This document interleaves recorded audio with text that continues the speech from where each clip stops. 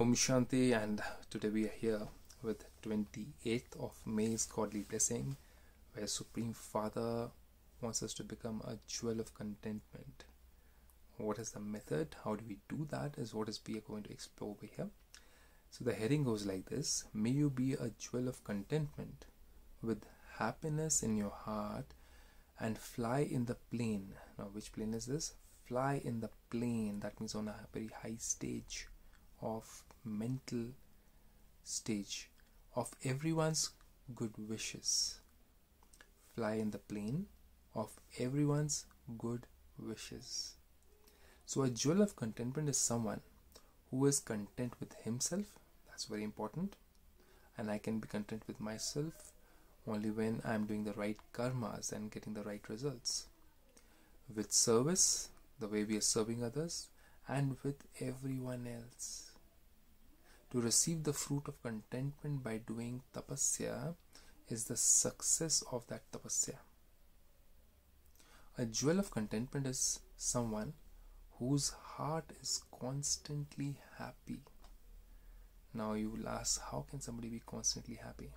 So God says over here, happiness means that both the heart and the head are both constantly in a state of rest that's the state of happiness. Happiness doesn't mean that you're excited you're joyous you're shouting you're screaming and you are not in your complete senses and calmness no. God says you are in a state of rest in a state of happiness and comfort. So the state of rest is for both the head and the heart. When you are in a state of rest for both the head and the heart that's the time you're actually happy. Think about it deeply. Such jewels of contentment will experience themselves to be flying in the plane of everyone's good wishes.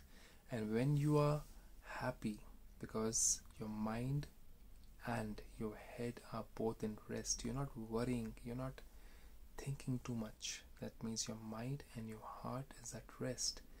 That's the time that others will be giving you good wishes.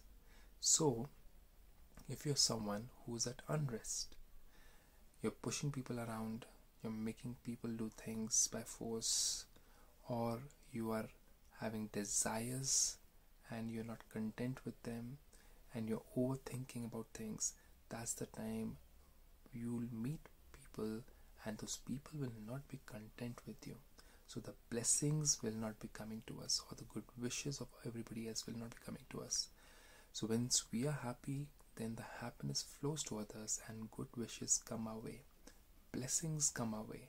And that's the only method to remain content with ourselves, with service, and also with everyone else. How do you achieve this state?